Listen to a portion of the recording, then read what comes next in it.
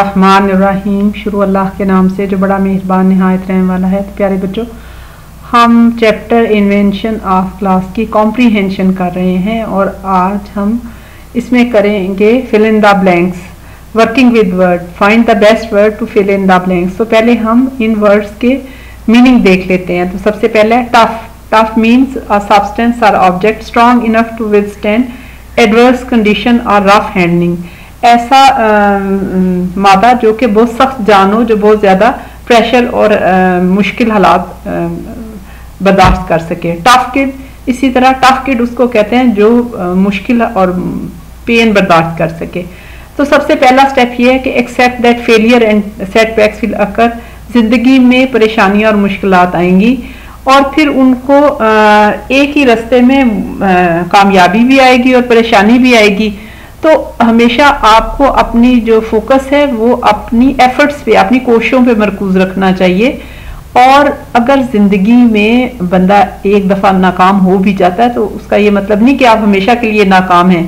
First fail का मतलब है फ़र्स्ट अटेम्प्ट इन लर्निंग अगर आप अपनी हर गलती से सीखते हैं तो आपको बार बार वो काम करना चाहिए, जब तक कि आप अपना मकसद ना हासिल कर लें।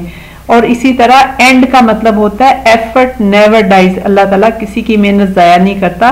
और नो अगर कोई कह दे तो इसका मतलब है याद रखें नेक्स्ट अपॉर्चुनिटी कि आपको इनशाला दोबारा मौका मिलेगा।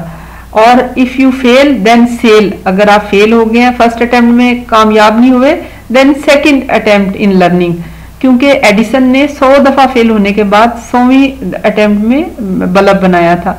तो कैसे हम टफ हो सकते हैं? टफ का मतलब होता है रेजिलियंस रेजिलियंस किड कैसे बन सकते हैं? तो इनको समराइज करें तो स्पिरिचुअल वेलनेस कि अपनी ज़िंदगी को बामकसद बनाएँ मीनिंगफुल लाइफ जिए। फिर इमोशनल वेलनेस का मतलब है make life beneficial for others अपने इर्द गिर्द जो प्यारे रिश्ते हैं, उनकी ज़िंदगी में आसानियाँ पैदा करें। फिर फ़िज़िकल हेल्थ है, आप एक्सरसाइज करें हेल्दी ईटिंग करें और छः घंटे स्लीप लें। और फिर ये मेंटल वेलनेस है तो किताब ज़रूर पढ़ें। क्योंकि अगर आपको पढ़ना आता है और आप किताब नहीं पढ़ते तो ये अच्छी बात नहीं है। फिर है ग्लो ग्लो का मतलब होता है give out steady light without flame expensive का मतलब होता है costing a lot of money उस चीज़ को कीमती कहते हैं, जो बहुत ज़्यादा पैसों से हासिल हो। There are some things that money just cannot buy like manners morals and intelligence कुछ चीज़ें ऐसी होती हैं, प्यारे बच्चों, जो पैसे से नहीं खरीदी जा सकी, जैसे आदाब करेक्टर जहानत। तो अल्लाह ताला करेक्टर कैसे हम सही बना सकते हैं? सीधे रास्ते पे चलने से। और वो एक दिन मुस्तकीम, वो अम्बिया का रास्ता है जिसपे कामयाबी की गारंटी है, और वो कामयाबी का रास्ता क्या है? कुरान को तर्जमे से पढ़ना, कुरान ही हमारी ज़िंदगी को मीनिंगफुल बनाता है, और कुरान हमें उस रास्ते पे चलना सिखाता है। क्योंकि उस रास्ते पे हमारे प्यारे नबी करीम वसल्लम चले और नबी, अल्लाह ने कहा, तुम उनके रास्ते पे चलो, मैं तुम्हारे से मोहब्बत करूँगा।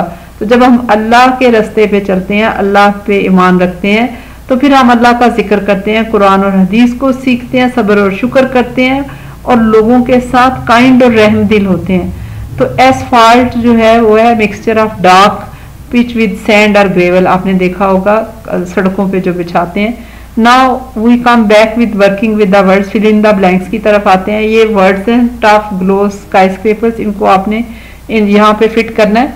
The dash of neon light made the sign board attractive video यहाँ पे स्टॉप करें। आप देखें कि कौन सी चीज़ जो है वो साइन बोर्ड्स को अट्रैक्टिव बनाती है। कौन सी light the glow of neon light यानी फ्लेम के बगैर जलती हुई लाइट्स हमें अट्रैक्ट करती हैं। नेक्स्ट है my uncle bought a very dash house इतना बड़ा घर जो है जहर है वो बहुत आ, क्या होगा? एक्सपेंसिव होगा क्योंकि जब हम बहुत बड़ा घर खरीदते हैं तो वो पैसों से आता है बहुत ज़्यादा पैसे जिस चीज़ को लगे उसको एक्सपेंसिव कहते हैं। My uncle bought a very expensive house फिर हम पहले भी देख चुके हैं कि जो बहुत टॉल बिल्डिंग्स होती हैं उनको क्या कहते हैं? Skyscraper the very tall building in a city are called skyscrapers फलक बोस इमारतें, जो आसमान से बातें करती हैं तो यहाँ पे आएगा the very tall building in a city are called skyscrapers next sentence है this is a very tough question tough का हमने देखा था मतलब मुश्किल, हल ना होने वाला। तो क्वेश्चन भी टफ हो सकते हैं वीडियो यहाँ पे स्टॉप करें। और खुद से लिखें the question is this is a very tough question ये बहुत मुश्किल सवाल है। तो ज़िंदगी जो है वो अल्लाह ताला ने हमारे लिए आसान बनाई है। हम अल्लाह की बुक को फॉलो करें। The road was covered with dash किसके साथ? आपने अक्सर देखा होगा। रोड्स के ऊपर काला मटेरियल बिछाया जा रहा था। उसको क्या क्या कहते हैं? अभी हम पढ़ के आए हैं, शाबाश। Asphalt the road was covered with asphalt तो प्यारे बच्चों अपने आप को इतना कीमती बनाएँ कि कोई आपको रिश्वत से खरीद ना सके, कोई आपको करप्शन पे मायल ना कर सके। इस चैनल को सब्सक्राइब करें लाइक और शेयर करें।